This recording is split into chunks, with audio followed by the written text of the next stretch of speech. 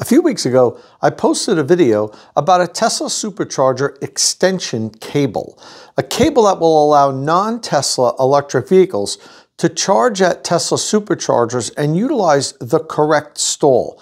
One of the problems we're seeing now that Tesla has opened up its network to other electric vehicles is because of their charge port location, they can't charge from the correct stall and they need to charge from the stall next to the correct supercharger stall, essentially taking up two stalls to charge one vehicle.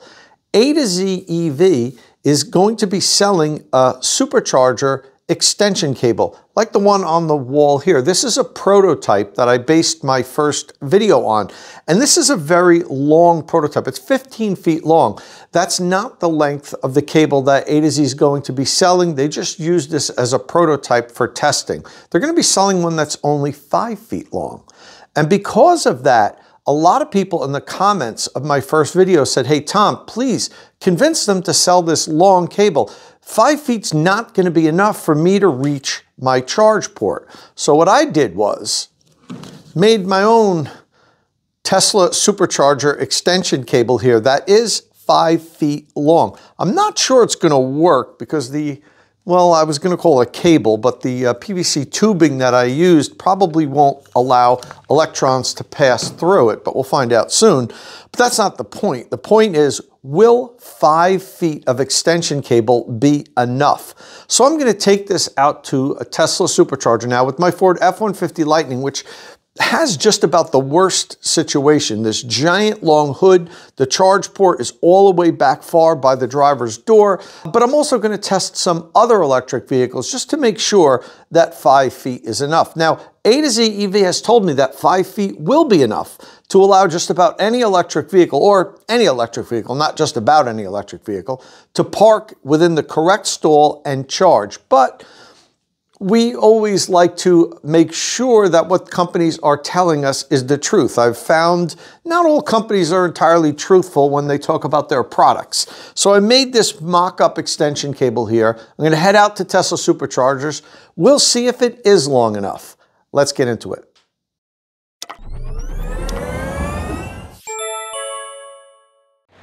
So I chose to use my F-150 Lightning as the first test because honestly, I think it is going to be the most difficult. The Lightning is very wide and the charge port is all the way back here, far from the front of the vehicle. So let's see just how this short extension cable works. You'll also notice I did park within the stall.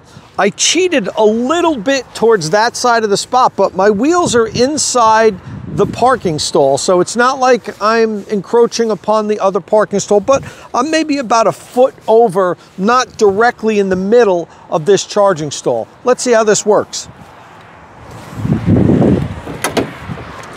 So as you can see, the connector itself barely reaches to the edge of the front of my Lightning. I will plug in that end come over here. Now this cable isn't nearly as flexible, this cable, this PVC tubing isn't nearly as flexible as a cable would be. But let's see if I can come over here, how this will work. It works. So this pass is what I think is going to be the most difficult test. And I didn't even have to drape it across the top. I thought I might have to go across the top of the hood. I don't have to. You can see the imaginary electrons flowing through the PVC tubing and the lightning is charging. So, hey, uh, I guess five feet is enough for the lightning. We'll have to try a few more vehicles though before I'm completely convinced.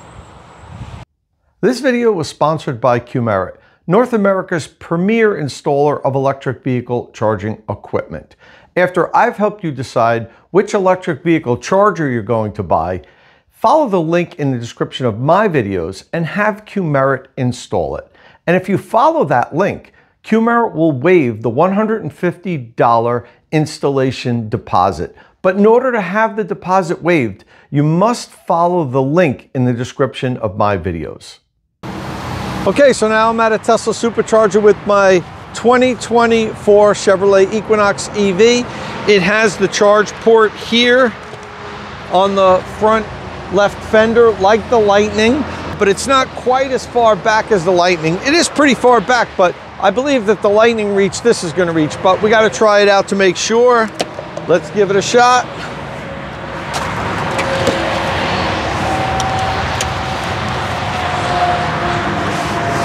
Okay.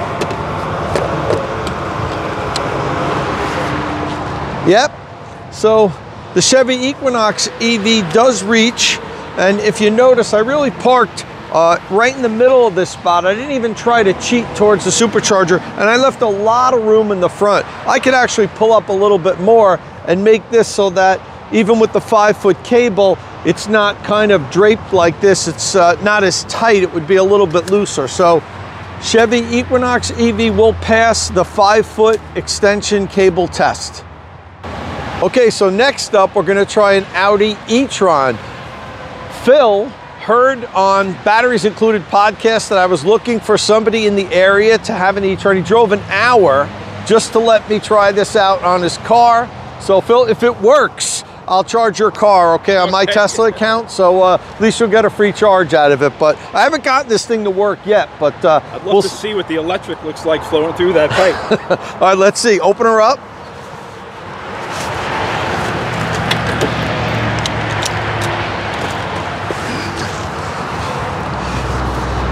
Okay, so I don't want to scratch your car. Oh, I got PPF on Just hold that there.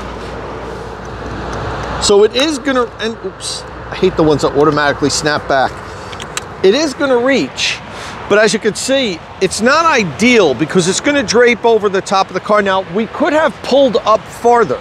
If we would have pulled up another foot or so, this would be hanging down, but it's not gonna be draped on the ground. So yes, it reaches, but it's there's not a lot of extra room with the e-tron because the e-tron does have this long hood.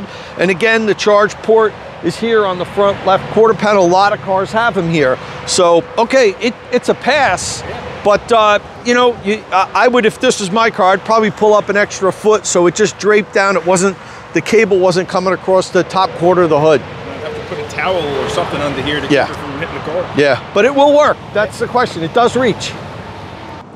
And finally, I've got a Lucid Air because the Lucid Air has a very long hood and the charge port also is on the front left side set way back. So let's see if the five foot extension cable will work on a Lucid Air. If you notice, I'm in the spot. I didn't pull over the white line on the other side of the spot. So this is within the parking spot here. And if the camera's shaking a little bit right now, there's like 25 mile an hour winds here today in New Jersey. It's pretty wild, but let's see if this works.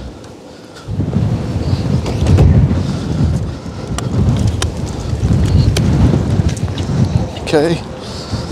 Now I'm definitely gonna have to drape over the hood for this. Okay, so no, being within the spot, this doesn't reach. My, my uh, right side wheels will have to be on the white line. So I'm gonna now pull over a little bit, go on the white line and see if it reaches.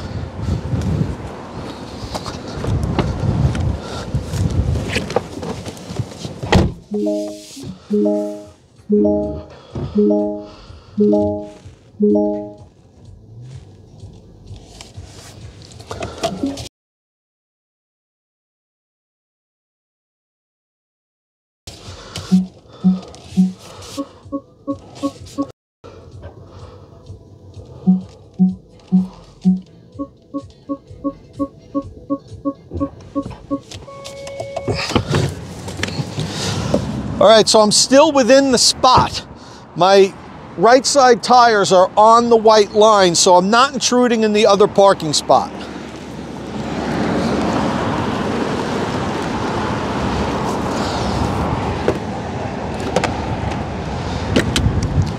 And now, yes, it will reach. So if you do have a Lucid Air with this very long hood, you've got to go all the way over to the right side of the parking spot but it will work being within that parking spot. The guy next to you might not like it because the passenger door might not open up very easily, but you can make it work. So I didn't actually get this to work and charge any of the electric vehicles, but to be honest with you, I was expecting that probably wasn't going to be the case. But we did learn that five feet is enough. You can charge any electric vehicle from within that stall. Now, obviously, I didn't test every electric vehicle, but I really think the Lucid Air is the worst case scenario.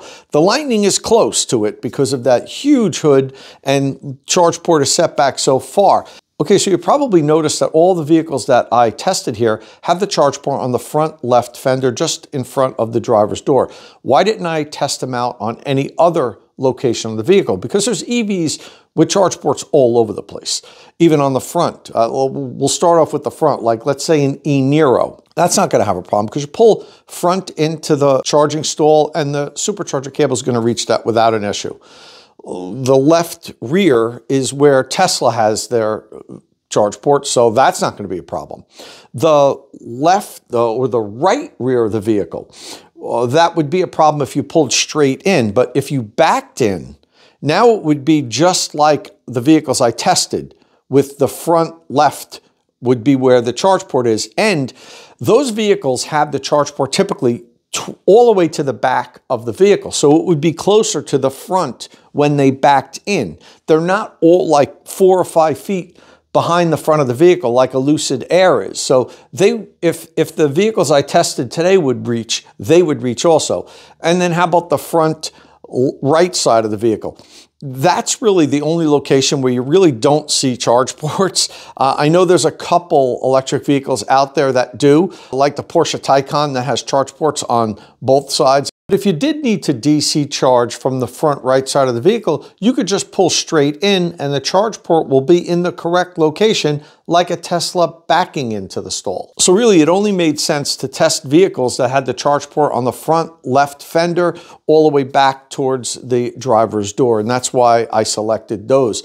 And I do believe that if the air and the lightning reach, anything else is going to reach. I know some people asked me to test the Mustang Mach-E, and that also has the same type of a long hood situation with the charge port in the back. If the lightning reaches, the Mach-E will reach because the front hood isn't longer than the Lightning's is. So um, I think we're covered here.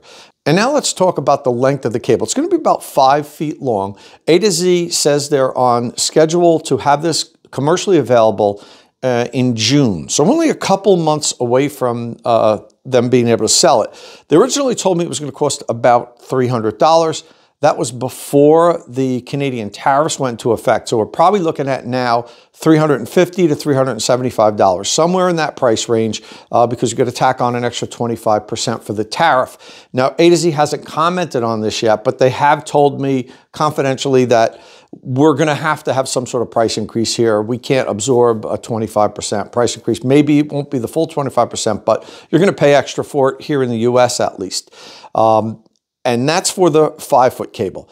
They haven't ruled out also selling a longer cable. Initially, they did. And uh, when I did the first video, Amin Zator, the CEO, told me, look, the five foot cable is going to be long enough. That's what we're going to sell.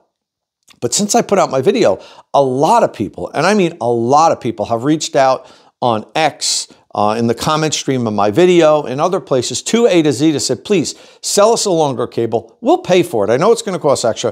Uh, I do towing. This would be better for me for towing. I know I'd be able to park on the side of the superchargers and, and have the extension cable over there. So they haven't ruled it out now. And if you're one of those people that really do want a longer cable, keep the pressure on post in the comments here, uh, tweet out on X, hey, you know, A to Z, I'm all in if you make a longer cable.